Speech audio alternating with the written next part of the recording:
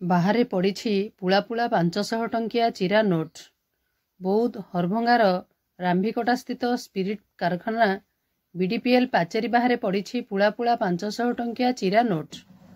ଚିରା ଟଙ୍କା ପଡ଼ିଥିବାର ଦେଖି ବୋହି ନେଲେ ସ୍ଥାନୀୟ ଲୋକେ।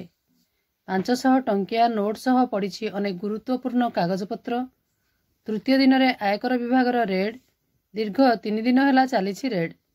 ଭାରତର ବଡ଼ ସ୍ପିରିଟ୍ କାରଖାନା B D P L Boudh distillery private limited ଉପରେ ପଡ଼ିଛି ରେଡ୍।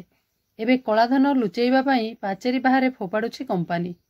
ତେବେ କେତେ ଟଙ୍କା ଏଭଳି ବାହାରେ ଫୋପାଡ଼ିଛି କମ୍ପାନୀ ତାହା ଏବେ ତଦନ୍ତ ସାପେକ୍ଷ। ବଲାଙ୍ଗୀର ଭଳି ବୌଦ୍ଧ ବିଡିପିଏଲ୍ରେ ମଧ୍ୟ ରହିଛି କି ଅମାପ କଳାଧନ ଏଭଳି ଏବେ ବୁଦ୍ଧିଜୀବୀ ମହଲରେ ଚର୍ଚ୍ଚା ହେଉଛି। ଅନ୍ୟପଟେ ତିନି ଦିନ ଆୟକର ରେଡ୍ ଚାଲିଥିବା ବେଳେ ଏପର୍ଯ୍ୟନ୍ତ କୌଣସି ସ୍ପଷ୍ଟ ସୂଚନା ଗଣମାଧ୍ୟମ ବିଭାଗ ପକ୍ଷରୁ ଦିଆଯାଇ ନାହିଁ। ହରଭଙ୍ଗାରୁ ଚିତ୍ତରଞ୍ଜନ ସିଂଙ୍କ ରିପୋର୍ଟ ମୋ ଜିଲ୍ଲା ଖବର।